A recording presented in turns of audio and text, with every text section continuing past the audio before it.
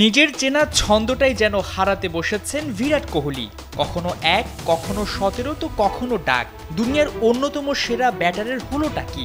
রোগটা ধরতে পেরেছেন ভারতীয় ক্রিকেটার দীনেশ কার্তিক। দিয়েছেন এমন এক পরামর্শ যাতে জাতীয় দলে না খেলে খেলতে হবে ঘরোয়া ক্রিকেটে। বয়সের ভারেই কি বিরাট ইনিংস খেলতে ব্যর্থ হচ্ছেন কোহলি?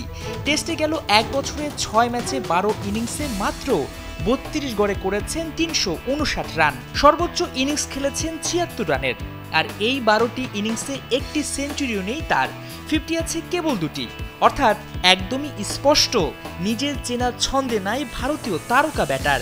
অল্পতেই হাঁপিয়ে পড়া বিরাটের সমস্যা খুঁজে বের করেছেন কার্তিক। পরামর্শ দিতে গিয়ে ভবিষ্যৎ নিয়েও দুশ্চিন্তা করেছেন তিনি। ক্রিকবাজের আলোচনায় কার্তিক বলেন, বিরাট কোহলির সামনে কঠিন পরিস্থিতি আসছে। সিরিজটা ওর একদমই ভালো যাচ্ছে না, নিঃসন্দেহে ও হতাশ করেছে। স্পিনারদের খেলতে গিয়ে সমস্যায় পড়াটা ওর অভ্যাসে পরিণত হয়ে গিয়েছে।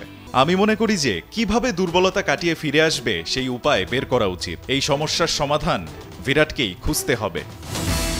সমস্যা খুঁজে বের করার পাশাপাশি ভারতীয় তারকাকে সমাধানও দিয়েছেন দীনেশ। তবে এর জন্য তাকে প্রয়োজনে খুলে ফেলতে হতে পারে জাতীয় দলের জার্সি। খেলতে হতে পারে ঘরোয়া ক্রিকেটে গিয়ে। তাহলে যদি ছত্রিশ বছর বয়সী বিরাট বিরাট করতে পারেন তার ইনিংস। আমরা সবাই জানি কোহলির সামর্থ্য কতখানি। এই সিরিজের পারফরম্যান্সে কিচ্ছু বদলে যাবে না, তবে বেশ কিছুদিন ধরে ও নিজের বেস্টটা দিতে ব্যর্থ হচ্ছে। এটা বেশ স্পষ্ট। গত দুই তিন বছরের স্পিনারদের বিপক্ষে বিরাটের রেকর্ড মোটেও ভালো নয়। যা করা দরকার, সম্ভবত ঘরোয়া ক্রিকেটে ফিরে ডিআরএসের ফাঁদ কীভাবে এড়ানো যায়, সেদিকে নজর দিতে হবে। কোনো সন্দেহ নেই যে, এই মুহূর্তে বাহাতি স্পিনাররা এখন ওর কাছে আতঙ্কে পরিণত হয়েছে। মাহমুদুল হাসান, সজীব একাত্তর।